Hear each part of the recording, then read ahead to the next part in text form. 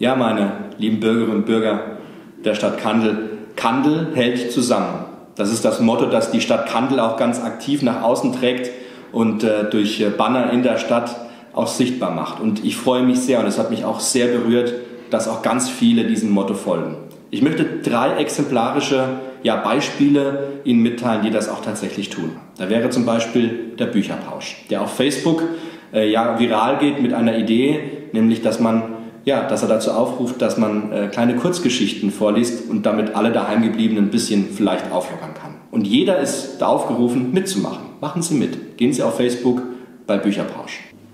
Und dann haben wir Kissenzauber in unserem Ortsteil Minderslachen, die mit einer großen Mannschaft dabei sind, eben Mundschutzmasken zu nähen. Jetzt ganz aktuell, ganz viele und das Ganze auch schon verteilen, auch mit unserer Hilfe der Stadt Kandel. Ein ganz tolles Projekt. Gucken Sie mal bei Kissenzauber und vielleicht können Sie auch eine kleine Spende da lassen. Das würde denen auch sehr viel helfen für die Ausgaben, die Sie damit einhergehend haben.